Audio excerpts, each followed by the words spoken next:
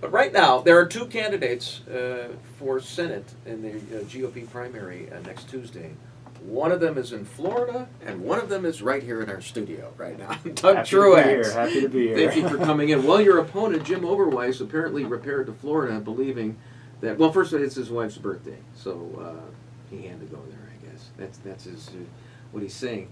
But uh, he's there, it seems like he thinks he has an insurmountable lead. Well, and I think that uh, I think he's wrong. Uh, I'm definitely chipping away at that. I've had uh, anytime people get to see me and him together in a setting where there's an endorsement or something like that from a township, I win those battles 70-30. So, you know, it's just a matter of getting it out there. He's got very high name ID. I started with nothing, so we're making those lines cross as we get closer here. But uh, the larger point I've been making as we go along here this is a it's a judgment thing, and uh, I think uh, Republican primary voters need to be very aware that uh, uh we get to a place uh, in the run against Dick Durbin, and if it is Jim Oberweis, uh, can we trust his judgment? And we got the helicopter over Soldier Field, we got the tax shelter in Florida, now we got preparing to.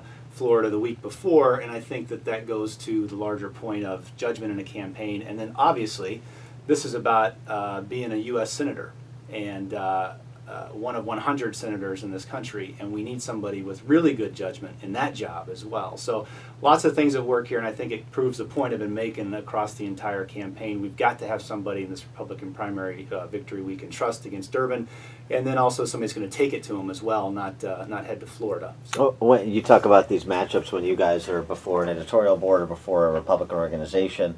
Uh, what's the uh, substantive policy distinction that you make between yourself and Jim Oberweis, and, and, and, and how does that play into you know, people's reaction between the two of you? Yeah, and I, I, make this point a lot. It's, it, a lot of what we've done, and he's flip flopped on this a number of times here.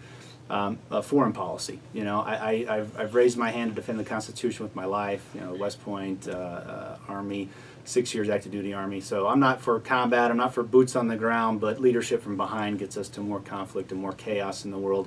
And Jim Oberweis said in the beginning, "Hey, I'm okay with what Obama's been doing." And uh, like I said, I don't want to go to combat, but we got to understand that the the weaker we are on the world stage, the more chaos we're going to have, uh, and we're seeing it day by day now uh, the stronger we are. You know, people used to make fun of Reagan when he would be strong on the diplomatic front, but we had peace and uh, stability going forward from that point. So that's been the biggest substantive issue on policy. Um, but the bigger issue is electability, and that's what that's what we're talking. To, to, I mean, you're a newcomer to this racket in Illinois. This is your first run for office. You're a relatively young guy. Uh, what's been your experience uh, running in, in a Republican primary? Just your experience with the Republican Party now that you've intersected it in a way you hadn't previously. Yeah, uh, it's it's it's been great. You know, I think that there's a lot of people out there ready for somebody new. They're ready for a new face with new ideas. Uh, they understand that uh, with Jim Oberweis, you lose five races in 11 years, you are the same old, same old. And uh, we've got to go a different direction. The Republicans on the ground, when I win these uh, all these opportunities to represent us in this primary, they see the opportunity.